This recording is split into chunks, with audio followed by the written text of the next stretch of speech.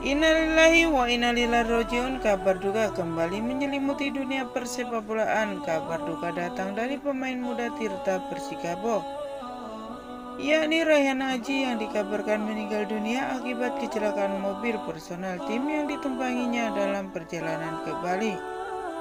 Nandang Permana Sidik selaku media advisor Persikabo saat dikonfirmasi via pesan singkat pada Senin kemarin membenarkan peristiwa kecelakaan yang terjadi di Banyuwangi, Jawa Timur itu.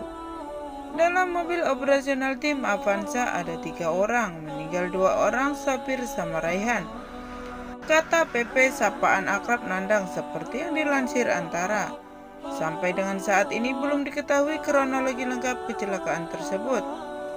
Namun yang pasti mobil operasional itu dikemudikan Amirullah dari personel tim transportasi dan ditumpangi pemain Persikabo Raihan dan Bintang Yuda.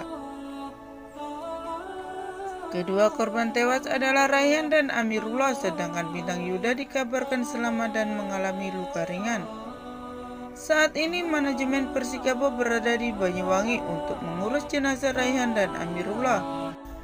Rencananya jenazah Rayhan akan dibawa ke rumah duka yang beralamat di Jalan Perjuangan nomor 9 RT 013 Kebun Pala, Kecamatan Makassar, DKI Jakarta.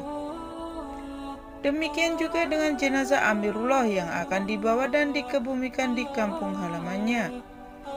PP mengungkapkan Persikabo sangat berduka atas kejadian tersebut dan memohon doa untuk kedua almarhum agar mendapatkan tempat yang terbaik di sisi Allah Subhanahu wa taala. Amin amin ya robbal alamin.